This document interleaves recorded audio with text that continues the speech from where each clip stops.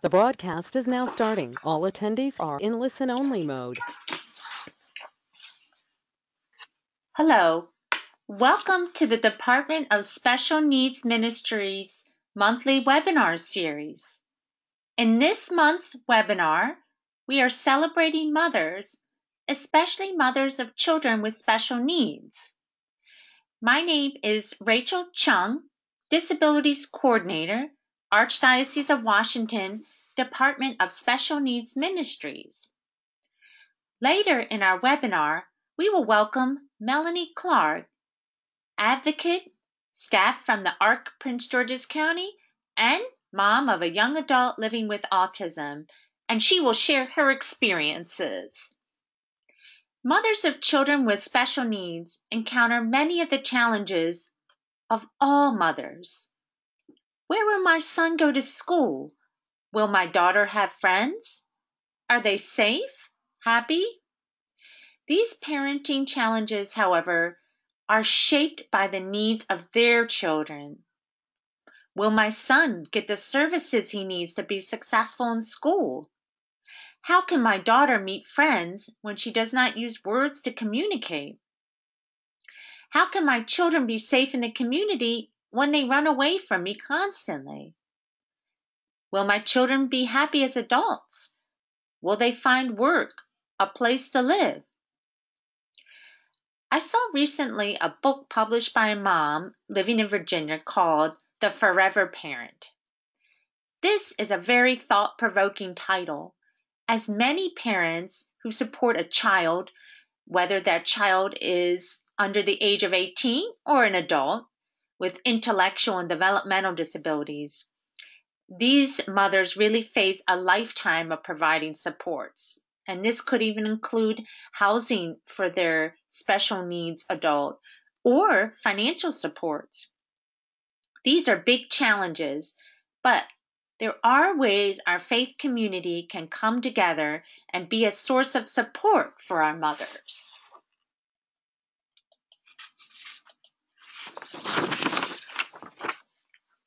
As Catholic Christians, we look upon Mary as our spiritual mother. I have seen different images of Mary shown here. It's very interesting that Mary changes to be the face of the people who imagine her. As we can see in these different pictures, they're from all different cultures all over the world. And see Our Lady of China, our Lady Mother of Africa, Our Lady of Guadalupe, just to name a few. Mary herself faced many challenges as the mother of Jesus. As we can see from these verses from the Gospel of Luke, then he went down with them and came to Nazareth and was obedient to them. His mother treasured all these things in her heart. So, what are some of these challenges that Mary faced as the mother of Jesus? How do you think she felt when people spoke against Jesus? Jesus himself was rejected from his hometown, as we hear in the Gospels. Did Mary hear news of this, that her son was rejected? How did she feel as being the mother of Jesus? We also surmise that Mary was a widow at the time of Jesus' crucifixion. She was there at the cross. We can just imagine the great pain and grief she felt as she watched Jesus suffer and die. Perhaps she wondered, why is this happening to my son? Why couldn't I prevent this suffering of my son? Yet Luke here describes Mary as taking all these moments as treasures in her heart this probably included the moments of great joy that we experience as mothers and also great sorrow. We can draw strength from Mary as a parent, and indeed she was a, is a mother. So, what are some of the experiences of a special needs mom? Throughout my career as both a provider, a service coordinator, missionary, and a member of the team here at the Department of Special Needs Ministries, I have met many mothers with all different types of experiences. I think we can all agree here that special needs moms have a wide range of experiences they go through, perhaps even daily. Let's look at a few of these descriptions here. I love this image of the, the person here desperately trying to get to on time to all those appointments that we know mothers with children with special needs have to do. How about this one? We can do it. If you want to get something done, ask a special needs mom. So we know special needs moms are really women who get things done. This one really made me smile when I saw this one but it is in his IEP. How many meetings do moms have to attend and go to to advocate and to make sure that their son or daughter gets all the services that they need to be successful in life? This one I think is a really apt description as well for a special needs mom. When you think you've been working for four hours and it's only been 17 minutes. How many times have you felt this yourself you're striving and striving for your children to be successful. Um, and it is very, indeed, very hard work. So let us now hear from one of our mothers that we welcomed here today, Melanie Clark, again, advocate, program administrator, and special needs parent. Uh, Melanie has been a good friend and partner of the of the Department of Special Needs Ministries, and she fulfills many roles both in our community and um, also here as a partner uh, with us here at the department. Uh, Melanie, are you able to join in with us?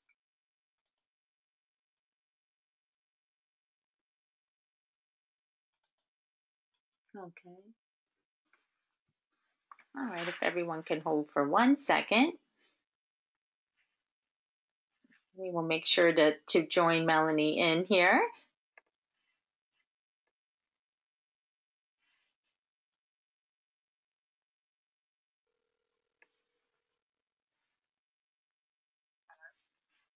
Oh, I'm sorry, Melanie. We had a small technical difficulty. Are you there? Okay, can you hear me now? We can. We can hear you now. So thank you again for joining us today to talk about um, our our moms celebrating moms today in this uh, a month of mothers. Thank you for having me. So, uh, Melanie, can you tell us a little bit about uh, what is your role at the ARC of Prince George's County?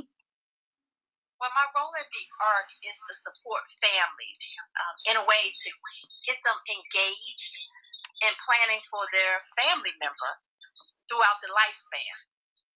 So I do this in various ways workshops, um, we have educational seminars, we have programs to help people enroll into benefits, we have programs that help youth with employment. Uh, we also uh, do what we call a membership workshop every month. So we do various things to help family members understand the journey of caring for their family member with a developmental disability. So I know, Melanie, you've met many moms throughout your own career here. Um, when you meet a mother for the first time, and it, I know it could be a mother in many different situations, she could be a mother of a child, an older teen, or an adult. Um, when you meet them for the first time, uh, do you offer any advice? Or if and if so what do you tell them as you're meeting these mothers for the first time? I definitely offer advice. I would say definitely yes.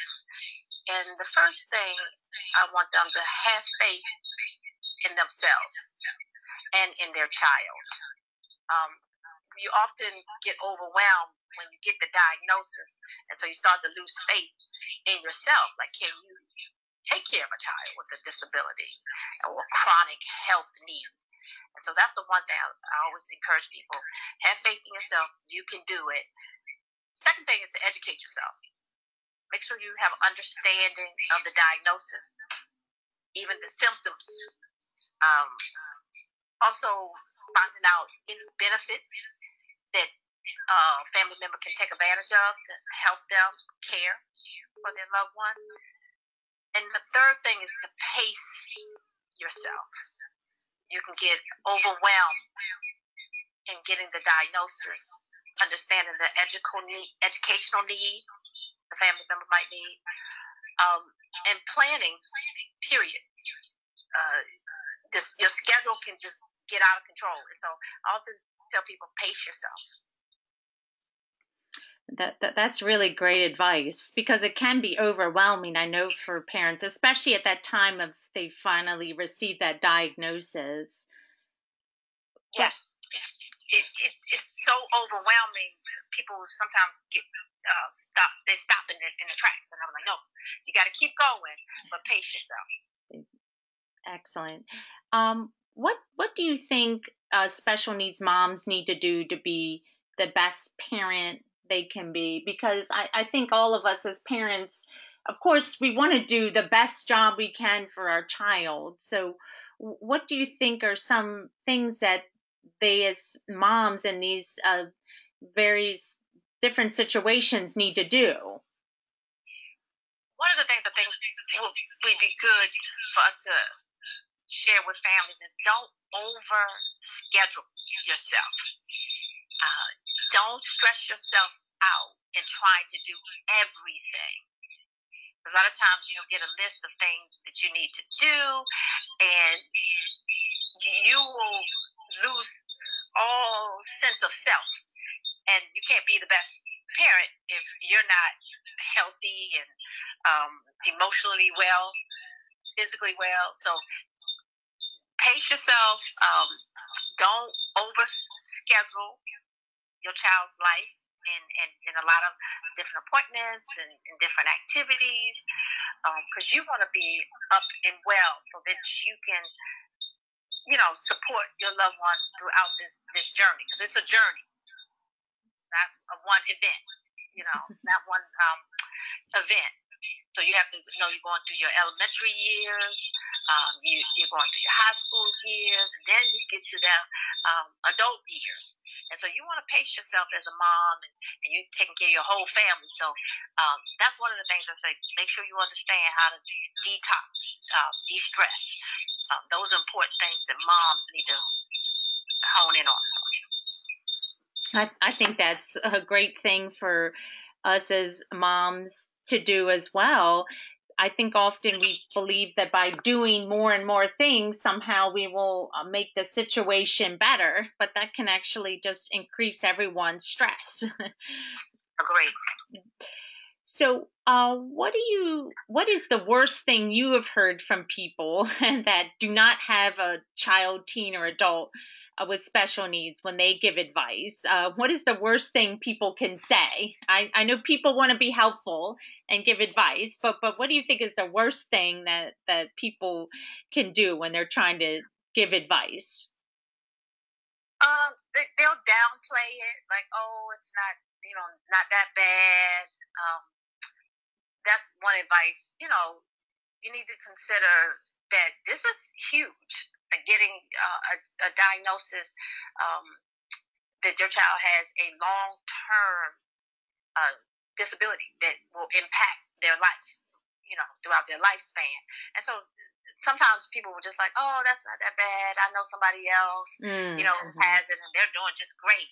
And, and that's, that's good in one sense, but it's up when you're just, you have a baby and you're just realizing your toddler um, may not achieve the goals that you had imagined. Um, that can be, you know, really challenging to hear as a, a young family. Um, one of the worst things that I think sometimes people can say to you is, "Oh, are you going to put them in a group home?" Well, you know, my child is just three, so why am I? Why are we even having this discussion? right. Because now you, your vision and my vision is not the same you know, because I might have a vision that, you know what, uh, my loved one is going to do everything they were expected to do if they didn't have a disability. And now you just kind of put a lid on their life. And not to say that's a bad thing of living in a group home, but why would you ask me that? I'm, I'm not even nowhere near that. I have a toddler. And so those are sometimes things that people can say. Um, that can throw you off. You know, as far as um, you know, giving giving advice. You know, that's not the first thing I'm gonna tell somebody at three years, their child's three, uh, giving them advice that you know put them in a group home now. you know, so don't just. And I think people don't. They don't mean harm. They just sometimes don't know what to say, or you know, I've had somebody say to me, "Oh, I'm so sorry," and I was like, you know, my child's not dying. You know, they're not critically ill. They just have autism. You know, they just have a developmental disability, and I'm happy, and and they look so sad. So those are sometimes, um, you know, you have to look beyond that. They sometimes people just don't know.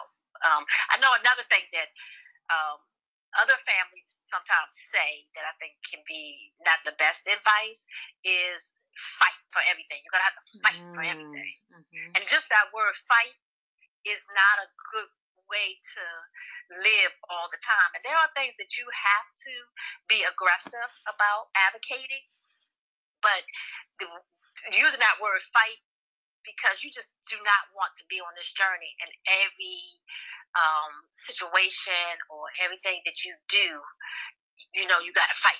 I'm, you know, I'm going to see this doctor. I'm going to have to fight. I'm going into this meeting with this mm-hmm. teacher. I'm going to fight. That's not you know that that that energy is not the kind of energy you want to carry. That's very that can be very stressful for a parent. So that kind of advice um, I don't like to hear people often offer families. Yeah, that that's interesting. You um, say that, Melanie. I think I've experienced more on the service provider side, and uh-huh. and I think when um, people already come at the service provider with a hardness, if you want to say that, in their heart, um, it kind of helps. It doesn't help the dialogue to continue. Um, um, and and and of course, we know that sometimes as providers, we failed mothers and and their sons and daughters certainly.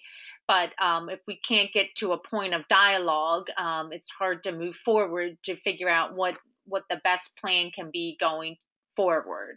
Right, I agree and that, that that's all. But but uh, you know i know that as providers sometimes we do not meet expectations certainly um but but we have to have a dialogue and figure out how to move forward. Yeah that that's yeah. that's very good advice. Um what about what is what is the best thing perhaps you even heard for yourself that someone told you or what's what would be one of the best um pieces of advice that a special needs mom can hear? I think one of the best uh, advice that was given to me or given me an opportunity uh, when asked, somebody asked me to join in when they asked mm, me to mm, participate. Mm-hmm. Like I was asked to participate in the art education committee, mm. and I was like, okay, you know, first of all, we want to be invited.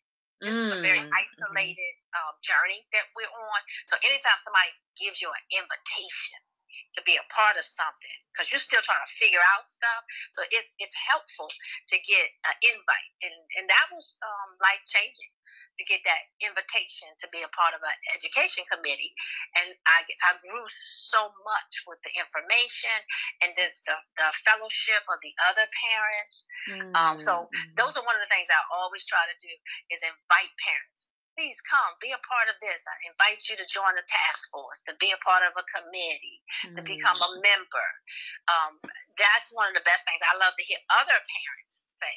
They invite them to participate in a program, mm. or you know that that is that is key. That somebody inviting me because oftentimes you just don't up and say, yeah, I'm going to go to that. You you go because you've been invited. Yeah. So um, that's the best thing that I got was that invitation. Wow, that that's that kind of leads so well to Melanie to something I know you and I are passionate about, along with um, also Pam Rosansky, one of our other partners, about the faith community and um, what is something. How do you think the faith community can respond to uh, mothers um, who are supporting children or again teen adults because we always think about the lifespan of the person right? They're not going to remain a child forever or a teen forever. So um, how do you think our faith community can respond to um, to our mothers? Yeah, the, I think one of the best ways the faith community can respond to families is just reaching out because they might not be um, in the pew. So we've got to go out and find them. They are out there. And a lot of times churches will, will say, well, you know, we don't have anybody with a disability, you know, attending our church. But we know that they're out there. Um, just a lot of times they're not coming because they haven't been invited, mm-hmm. and so right. um, and sometimes they might not be feel comfortable like coming in because they've been rejected before a lot of times, or they just they haven't been rejected, but they don't want to get rejected. So mm, they're very mm-hmm. fearful. So I think in the faith community, we really got to think of some um, creative ways of connecting with people um, with this developmental disabilities and their family because both of them need that spiritual formation. And so we just got to be very uh, flexible, think outside the box, um, and, and, and identifying that they're they're in our community and what's the best way to draw them in. And once we get them in, we have to ask them, like, what works for you? Mm, yeah, because what works for everyone else is that Sunday service, but it might work better for me on Saturday evening. Mm. You know, yeah, for various reasons, the sensory. You know, it may, be just too much to have so many people in in the church at one time, and we might need a smaller crowd. We might need the music turned down a little lower. Mm, mm-hmm. You know, the lights not as bright, or you know, just some some different things that may make me feel inclusive mm. so that we as a family can go mm-hmm. and come together and fellowship. So I just think that we just need to think a little bit different, go different places like Jesus. Jesus went different places, you know. so, so we we just really kind of really need to to meet the needs of uh, the developmental disability community, the, the, the family, so that the families is, can go and worship together. This is got to think differently. We just got to, you know, think just a little bit differently on how we uh, connect with them. And, and I know one time I heard from a mother too regarding her own faith community. She saw on the church bulletin it said all are welcome, but she didn't believe it meant her and her uh, children. She had two. She has two children living with autism. So that was interesting. You just can't even just say all are welcome because for her, she was waiting for that invitation that you speak of, Melanie. That no, you are invited and your son and your daughter are invited to the table because even yeah. even just saying all are welcome doesn't a lot of times special needs moms thinks well they don't mean me right Right. And, yeah. And, and it, it, it's it's very challenging on both on both sides because um, both sides don't know what they don't know, and we just need to come together and just strategize a little bit more. How can we identify uh, our community members that want to worship and want to be a, a part of a, uh, of a spiritual family? Um, how do, how do we connect with them? Right, right. And I think you're right too, Melanie. It can change, of course, depending on the family. I know I've uh, worked with some of our churches here, and I said, Your program this year will be different next year depending on the children who come. and, and, and, and we should be ready for that change because their needs are, are dynamic and they're going to change. So we can't just keep the same program even year after year. We're going to have to yeah. adapt to to meet their needs um, as well. Key word is adapting. Adapting, that's right. that's right. and I know, Melanie, you probably heard this many times as a service provider. Um, I also often hear, oh, people with special needs don't like change. I said, no, nobody likes change. Right. it's nobody it, likes change. It's not unique to the special needs community it's all of us. Right? You know, we need to be, but we need to be adaptive and ready to change. True, I agree. So, um, Melanie, we kind of touched on this a little bit, but um, would you like to share with us a little bit about your own experiences as as a, a special needs mom? Oh, wow. Um, you know, over the years of, of uh, caring for a child with uh, autism, a developmental disability, anxiety included in there, some mental, uh, you know, concerns too. My journey has been interesting um, at, at, different uh, stages of, of, how I cope mm. with her having um, the disability. And I often say, um, you know, it's, it's interesting uh, when you're on this journey and you don't have a, a, a plan. You don't know, you know, you're just like on it, and it's almost sometimes you feel like you're driving without a map mm-hmm. or GPS. and so I, I, feel like from my experience, um, and she's 26 years old now, it, and I look back, and you know, I, I, I really um, don't know how sometimes I got through it. Like, and I know that it was my faith. It mm. was my mm-hmm. relationship mm-hmm. with God. It, it, it, sometimes you don't even realize it, but your relationship will um, can get much stronger when you just say, you know what, I got to release this, and I got to ask God to guide me because there's no map and you can't look at what other people are doing because other people's children are different and have different needs and their family structure is different and so uh, you know, through my own experience, I just thank God for Him leading me, and I thank God for myself being open. Like the experience I had, a lot of times I was just open because sometimes you you become open when you just you know frustrated. Like you know, like I don't know where to turn, I don't know what to do, mm-hmm. what next. Um, and so there are times when I just say, Lord, this, you know, you got you got to take this you know, you just I gotta I gotta trust you. Um, you know, and, and you just gotta take this. And and and over my experiences, that has really worked well. And I wish sometimes I had a given it to him before and not waited till I was, you know, frustrated and at my wits end, and then asked him to step in.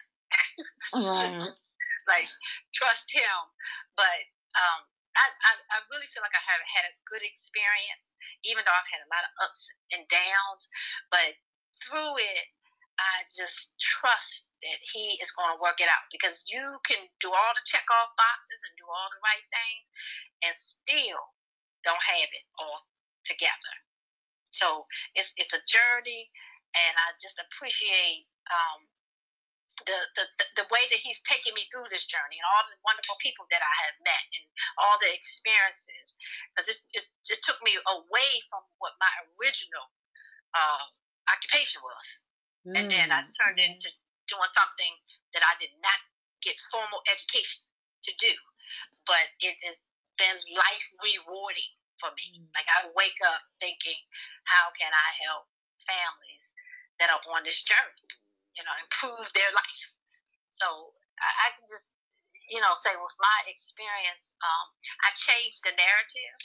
Mm. That's one of the things that mm. I often say, you know, you can take this journey and just talk about all the negative piece of it, or you can take it and just say, you know what, I'm just so grateful that my child's healthy. I'm just so grateful that they were able to experience education. I'm so grateful for this educator and this doctor, you know, and, and in this program and mm. the people that you encountered that really lifted you up. So it, it, it all depends, um, I think, for many people on their experiences is the narrative. Mm. And I, I just always try to change whatever uh, narrative of looking like it's going in a positive, like a negative way, I try to change it into a, a positive. Wow. Yeah, that I I like that um, phrase. I wrote it down even to Melanie, about changing the narrative, because because in some ways our, our story is also written by us, right? And what, mm-hmm. what what path we're going to take, um, and how we're going to move through that path. And of course, there's other things that are going to block it and uh, get us off course, but it is a story we help to write, you know, right. as well. Right. So, what do you think is the most valuable lesson you have learned in supporting your daughter?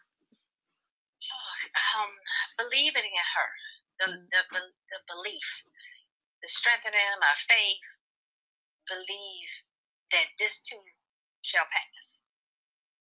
And a lot of times, um, people on the outside, you know, they, they're looking in like, oh, that's your story. And I'm like, no, that's not my story. This too shall pass. You know, um, that that's to me the most valuable thing that I have taken because who she was at three wasn't who she was at 13. And at 13, she, um, she's not what, what she was at, at 23. She, mm-hmm. you know, a lot of things improved. But I, looking back, would have thought, oh my goodness, that's never going to change. Right. Like, that's set in stone. But it wasn't. And she's still evolving and growing and changing and learning. Right, right. So the most valuable lesson is to keep believing, even when it doesn't look good. And, and you know, just keep a positive, uh, affirmational way of thinking and speaking. You know, speak positive um, affirmations and teach your child to speak it. You know, I think that's one of the most valuable things that we used to do waiting for the bus stop. You know, I used to tell her, You are special, you are dynamic, you are awesome. And and get getting her to recite it. Um and then I, I start to feel it. I even feel like she believed it. And she's looking at me, you know, and and I'm saying, Oh no, you can get you can do it. Go go for it. You can you can change you, you can change the narrative. Like this will change. And um, it started to happen overnight. It wasn't no therapist that came in and did no treatment plan. It overnight she went from not brushing her teeth, from hating that sensory experience, to automatically going in and brushing her teeth. Right, right. That's just an example of how. And I thought, wow, you know, this is gonna be like this forever. But then I had to say, you know what? This too shall change. Come on, let's brush your teeth. right. now she does it. Like now she loves to do it. Right. But um, that's one of the valuable, I think, things that I've taken over this experience is just you gotta believe things will get better, even mm-hmm. when it doesn't look like it. You know. And I, I think that's kind of also uh, pointing to what you said about getting a, a faith community around you to help you to continue that belief. Yes. um, you know, because of course it's very difficult, right? And uh, um, it's hard to sometimes see the achievements, like brushing your teeth, right? That, that's an achievement for your daughter, but it, it it didn't look like it was going to be realized. I'm sure there's other examples, you know, right. that you could point to, but um, but having that faith community around you um, is very important. A good faith community, we should say, right? right, a good faith community, really positive energy. Positive energy. Mm-hmm. So that when those things seem like forever, that this is never going to come to fruition, you have people pour, pouring in, like, oh, don't worry about that. That's okay. You know, it's no big thing. Um, but they're, they're believing in you and your child. You know, you really have to surround yourself with people like that. You have to create a village that believe in you, and they don't all have to have, they don't all have to be specialists. Right. You know, whether it's the, the nice neighbor in your neighborhood or the lady at the grocery store counter that's always putting good energies into you and speaking to your child. Those things mean a lot. And, and they give you that, that, that hope that things will get better. And what you listen to and what you uh, see on TV, all of those things play a major role um, in developing your life and how you're able to get up every morning and be hopeful. Um, so you do have to pay attention to that, your, your village, your village. and your sensory. Mm, yes. Good. Excellent advice. Um, and I know that uh, we in um, all the service providers, faith community, advocates, individuals living with disabilities, uh, there's many challenges that are facing um, our community, and I include everyone in that as well, uh, including people with disabilities. So, what do you think are some of those biggest challenges facing uh, this community, um, uh, including service providers, um, advocates, um, and of course people living with intellectual and developmental disabilities. What do you what do you think are some of the biggest challenges? I think some of the biggest challenges we we face is accessibility, making sure that we have opportunities for inclusion to, mm-hmm. to be integrated, to be true citizens of our community. That that is thought about, and and and, and we're not on the last, you know, uh, on the last on the list you know, of how do we support people with uh, disabilities in our community and making sure that they have access to programs and mm-hmm. programs and mm-hmm. services. So I think the accessibility piece, the inclusion um, piece, um, of course, employment. Yes. Yeah. You know, the lack of employment opportunities and affordable, accessible housing. Right. Right. Yeah, I know that's um, kind of one of the I think maybe not the most worrying part for a mother, but I think the mother is always thinking about the future and and um, what happens when I'm gone. That's that's different than for um, perhaps a mother who may not have children with intellectual and developmental disabilities. That that's kind of a more on the the the, the forefront of the um, uh, a special needs mom, I would think. Definitely. I mean, that's uh, one of our biggest fears, and it sometimes stops us from planning. Because if you can't see uh, a pathway, then you just say, okay, I just am not going to do deal with that at all, which is one of the worst things you could do. So you definitely want to look into the future and ha- having that conversation about such as housing, like what would, what is that going to look like in 20 years when I'm no longer here and my loved one needs a home? you know, mm-hmm. hopefully a home of their own um, with good supports. Um, but having starting to have the conversation now is the key to dealing with the challenges that we have to communicate those challenges. Yeah, and I, and and I do think again pointing to that that's to me one of the major differences.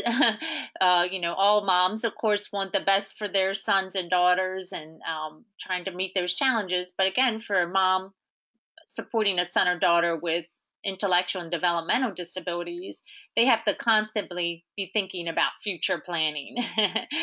um, I think in a vastly different way than I would yes. say other parents do.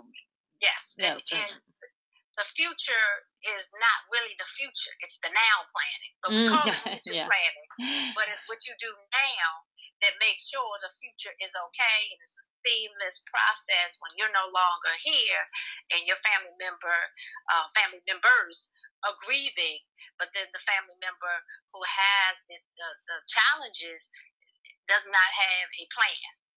And mm. so their life can be interrupted in such a traumatic way.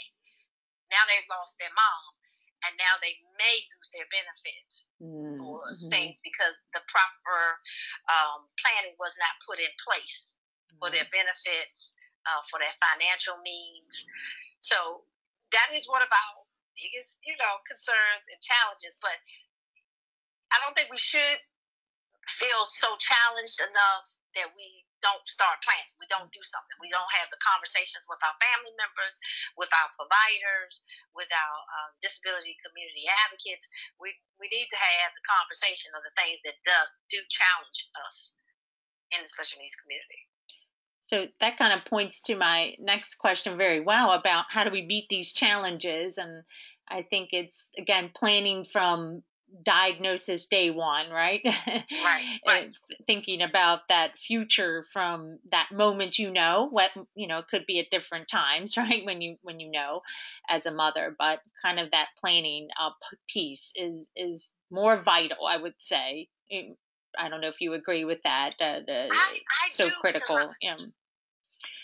I believe that the information and the visionary picture mm-hmm. that was uh, provided to me when my child was five, it changed my trajectory. Mm. It changed what was acceptable, you know, and unacceptable. It was, you know, certain things was like, okay, pass on that because that's not the path that I see my child in 20 years or 25 years, 30 years.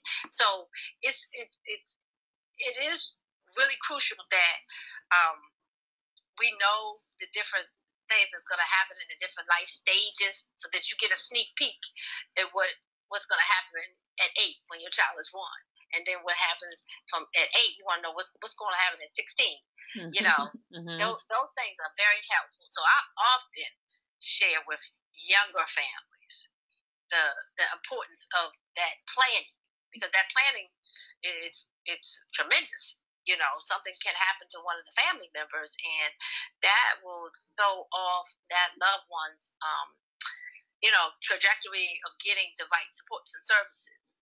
So definitely um, getting the information on the different life stages um, is important.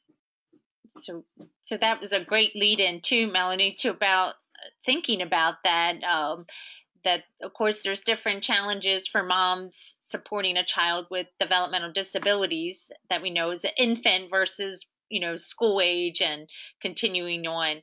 Um, and do you think um, the community of support around mothers needs to change as well depending on the life stage of their um, son or daughter?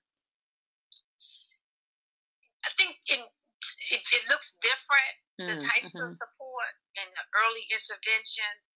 Um, you want to just meet up um, emotionally to, with other parents because um, you have the educational system kind of figuring out the, the, treatment plan or the educational plan, and you got your medical uh, providers helping you with the treatment plan. So you have a lot of um, support in that sense so the the support kind of you know changes when the your child gets a little older mm-hmm. and they're and they're 14 and 15 and is now trying to figure out what life is going to look like once they finish their education their formal education right. and that type of support you you need more you need to connect with parents like you did younger but it's it's a different conversation um it, so you still need that that same parental exchange, I always say, and it lessens when the child gets older. Mm. So you don't see as many moms at the soccer field together, yes. child talking.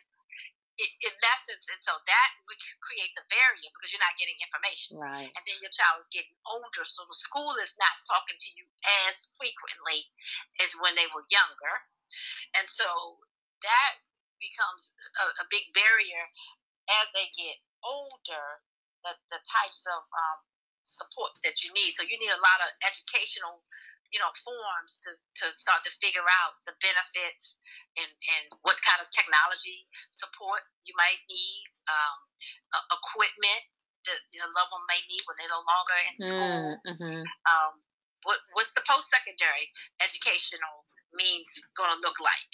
You know, um, what programs, what benefits, you know, for long term support services you're going to need to have in place. Some people need a lot more personal care support, mm, some yeah. people don't. But as a parent, you're not going to know that unless you have some other parental exchange mm, and you mm-hmm. are going to support group meetings. Right, right. That often tapers off for a lot of families. And that's one of the biggest um, challenges, I, I, try to tell families, please stay engaged. Mm, yeah. Um, and it's not easy to digest the information because they're getting older. Right. And it's not um, grouped together as when they're younger. Oh, this program is already established. We're just moving to this. It becomes very individualized right. when you get older. And so um, that, that creates a lot more um, stress. right. Because so the support continues. The support continues, and I guess again, thinking again that life trajectory. I like how you mentioned that for your son or daughter. It it really is looking at the entire life trajectory of of that person. Um, and kind of shifting and, and changing those supports um, depending on that life stage of theirs and of the mom, right? Because their right. moms change too, of course. right. we yeah, we we, we get older as well. That's right. Your, yeah, the family members, the siblings are growing. Siblings, They're leaving yeah. to go to college, so that your support needs may change. Um, you know, with inside the house where you live at, you Right. may have changed. So a lot of changes do occur, but trying to identify your um, support base is is critical. Yeah, excellent advice. And I, I know, uh, Melanie, you're an excellent advocate for this and, and all the work you do about that community of support. Um, but thinking about our moms specifically, who do you think are the players in our community? Again, we kind of think a lot about service providers, but outside of service provider, who are the players in our community that can be a support for uh, special needs moms? I, I often tell people look into um, uh, special needs ministry where they have a Mhm. lot of activities and a lot of support going on and, and engagement so that you can find other moms. Um, when you're doing certain activities and therapies and you're in the um, the lobby of that um, you know clinic or, or therapy, um, kind of connect and engage with families. Ask that therapist, do they have um, parent groups or little coffee Mm, breaks?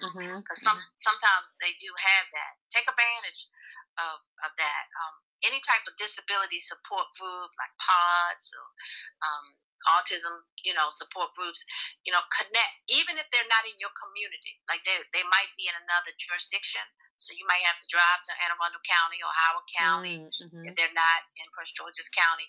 That is worth uh, gold to to to sometimes see what other jurisdictions are doing and and, and connect with those um, parents um, and to, to see what their vision Yeah, is, is excellent. like and what they have going on in their community.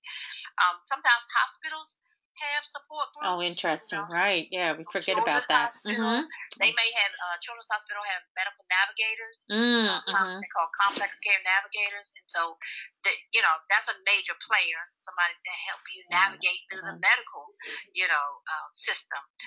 Um, sometimes universities have programs where they have support groups, so I would definitely research that and check into that. Um, some of the uh, waiver services, if you're getting um, Developmental Disability Administration um, benefit services, they have family training that Mm, offers with that. So that the autism waiver has family trainings um, offered.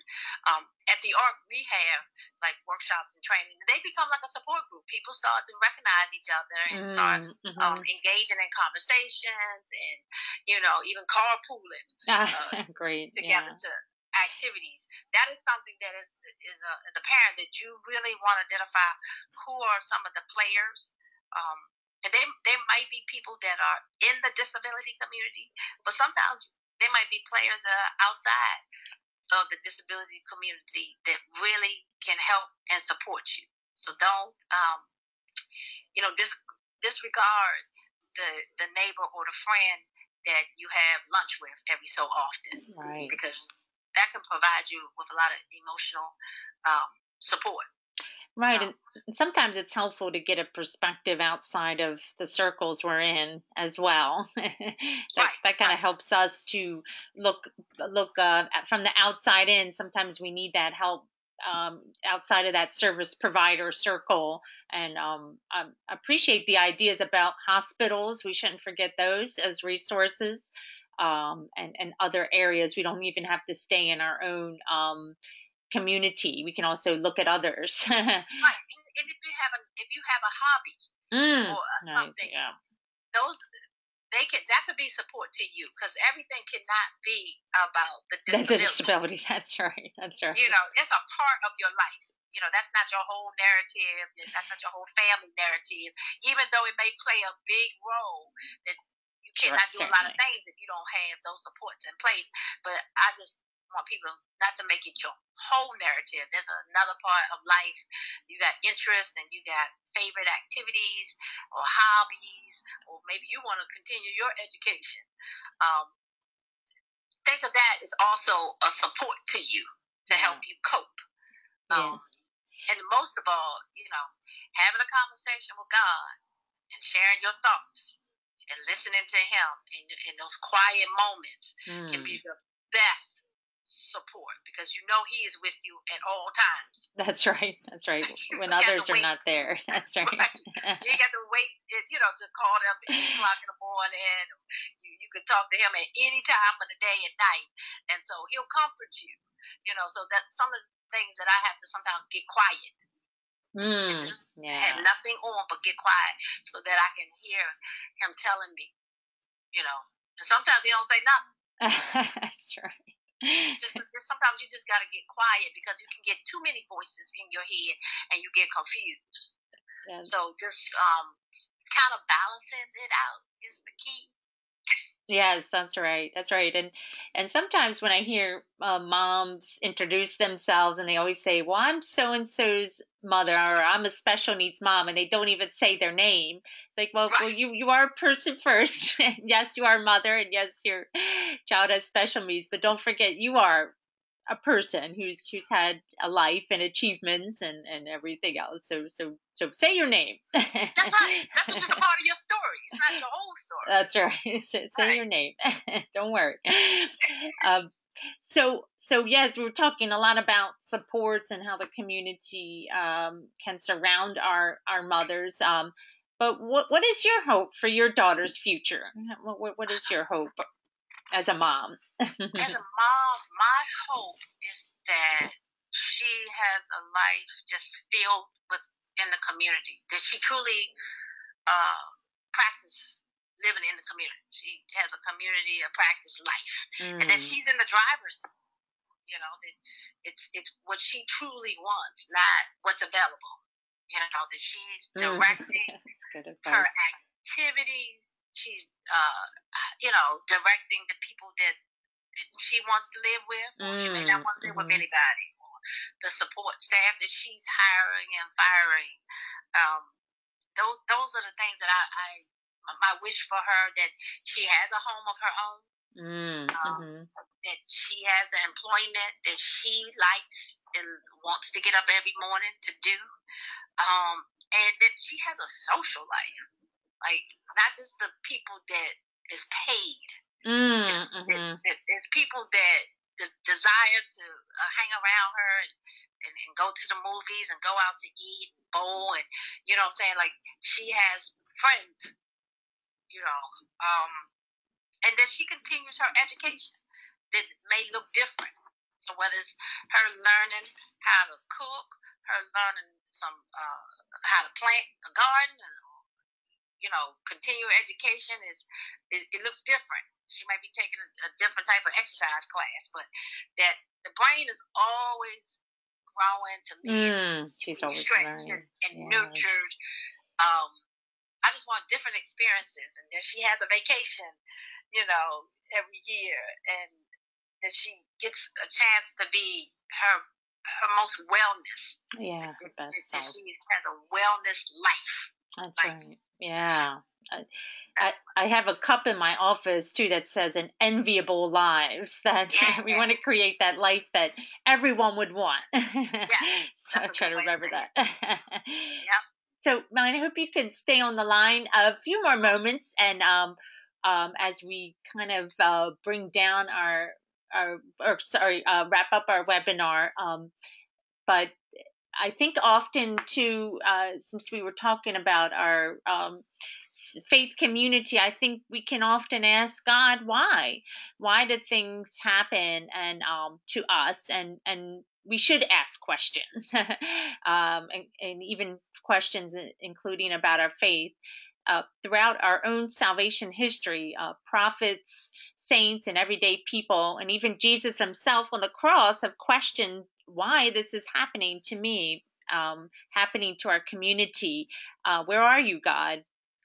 Uh, Saint Teresa of Calcutta uh, herself, a great saint of our time, described in her writings about having the dark night of the soul um, during a time when her own faith wavered. Um, and here we have an example of a person admired and uh, cherished by many people, and uh, and even herself had what she described as the dark night of the soul. Um, our role as a church community should be a place of comfort and hope, not a place of no or we cannot help your child here or your teen or your uh, adult. A culture of life that we believe in our church community also includes being a support for families, including mothers raising a child, or sometimes our mothers have uh, children with intellectual and developmental disabilities. So, what are some other ways we can be a supportive community of faith um, as ministry leaders, family, friends, parishioners, and members of the community? Uh, so often um, um, we think about how we can support families or have a ministry or, or uh, religious education. And uh, when the moms come to us as church leaders, we tell her, oh, that's fine, but you can lead it but uh, as Melanie described, our mothers are very overwhelmed and and, and tired. So uh, maybe leading it would be a stretch, but we certainly should ask for their input on how we can create uh, ministries that will serve their needs. But we could still have the invitation, as Melanie mentioned, but um, it doesn't mean they have to always lead those ministries or, or programs. I think um, anytime a mom receives criticism, like why can't you control your child, or um, why um, is she continuing to do that? Um, I think a better response as as uh, parishioners and ministry leaders is how can we help you today? Well, what is there something we can do to be of help? Um, a welcoming atmosphere at our churches. Um, everybody can be a part of that. You don't need to be uh, expert on disability to say hello to someone and help a family feel welcomed. If you have a business or if you are a hiring manager and um, consider employing an adult living with disabilities, um, uh, Melanie mentioned that hope for her own daughter. Um, and there are many people in our church communities who own businesses or perhaps are in a position to do hiring. So think about that as being embracing those families fully um, as their son or daughter becomes an adult and is looking for that full inclusion, including working. Of course, we can be part of advocacy both at a, a, government level and even at our own church level for supports. Again, you don't need to be an expert on disability, uh, just needing to be a support and another voice to help um, those services uh, continue or grow. And celebrate all those achievements um, and listen to the dark moments.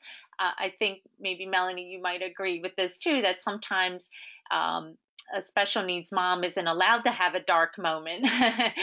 um, uh, she must always be positive and must always be, you know, the strong person. But you know, those um, dark moments come and we need to be there for them as well during during those times and uh, I think a simple thing we can do too is take a special needs mom out. Um, I I try myself to do that as well, um, where she could just have an hour or two not to talk about therapies, not to talk about um, uh, individual education plans, but actually just to have um, a time and fellowship, and we can do that in many different ways. Uh, here you find a, a, very short list of resources, and this is also available as a handout on this webinar that you can print out. Um, as Melanie mentioned, there are many different uh, groups. Um, one that I'm familiar with is Parent to Parent um, in Montgomery County, where a, a, parent is paired with another parent uh, to be a peer mentor, uh, which is very um, strengthening for, for moms. Um, there's different respite programs. One in Prince George's County is called Buddy Break. So uh, th- that's an excellent program that allows moms that time to rest eh, as well. Uh, we have many community resource organizations all across the Archdiocese of Washington. And if you click on that link on your resource page, you will find um, where they are located, and they're all across um, the Archdiocese of Washington for activities and social opportunities for teens, older teens, and adults. Um, I just recently came across this resource called Moms in Prayers, and this is actually a, a Christian ecumenical resource where, where moms get together and pray, um, uh, which is a wonderful way to support uh, one another. And this is um, um a Christian ecumenical uh, resource. And also for moms that may have received a severe or fatal prenatal diagnosis. Um, Isaiah's promise is a wonderful support to those moms who just found out, maybe, and sometimes diagnosis is even at that time when um, uh, pregnant that you find out that your child may have a significant disability. And here at the Archdiocese of Washington, we have that support available for those moms. Again, uh, uh, a mom who's experienced that, um, helping a mom who has just found out. So again, that that mom to mom support. And of course, there's many other different resources and supports, but here here's a brief list for you here. So uh, we do have just a very few moments uh, to uh, have questions. If you have any questions or comments, and there's a chat box available on the right side of your screen. Um, so please feel free to enter any comments or questions you might have. And I also have our contact information here for us uh, here at the Archdiocese of Washington, Department of Special Needs Ministries. So um, I want to mention as you're preparing your questions um, to be typed in here to our chat box, um, our next uh, brunch bunch, which is a partnership between the ARC Prince George's County, Prince George's Community Resources, and the Archdiocese of Washington. Um, we meet on the fourth Thursday of every month at the Holy Family Catholic Church Heritage Room. And I think Melanie would agree with this that that group informally has uh, been a support to one another. I think the moms have found ways to connect with each other um, before or after our brunch bunch and this month we are focusing in on uh, mental health as May is Mental Health Awareness Month. So please, you're most welcome to join us there on May 23rd from 11 to 1. And we do serve a brunch um, to hear from Colette Harris, who is the executive director for uh, Prince George's County. And also here in Prince George's County, we have the Spiritual Community Collaboration, uh, which our next meeting will be in July. So please stay tuned for information on that. And that's a way where all faith leaders, community leaders, advocates, persons living with disabilities come and learn more on how the faith community can be a support for family and other res- resources. So stay tuned for details on our spiritual community collaboration, which has been a wonderful resource uh, and support. Our next uh, lunch and learn will be in June.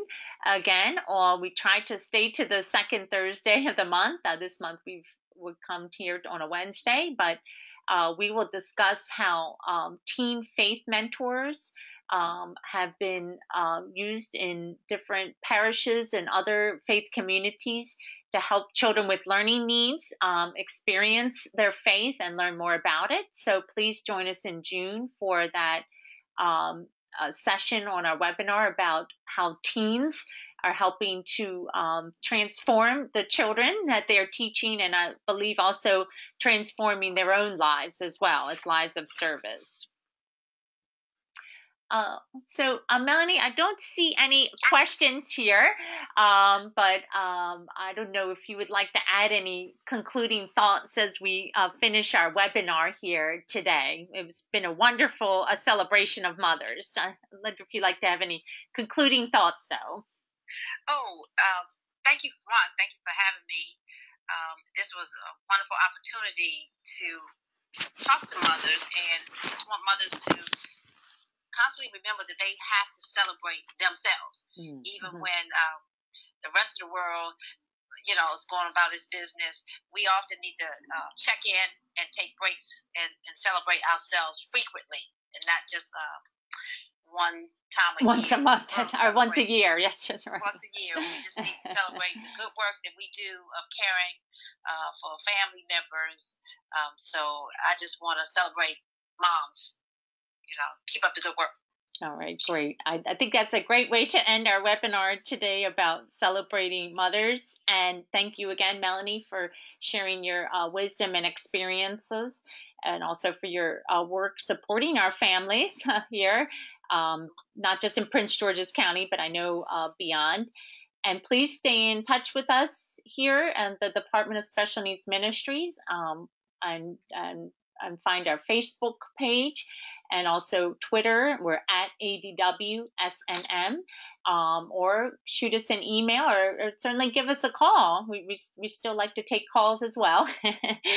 um, so feel free to reach out to us as well. So, again, uh, thank you, Melanie, and thank you, everyone who joined us today for our webinar. All right, thank you so much.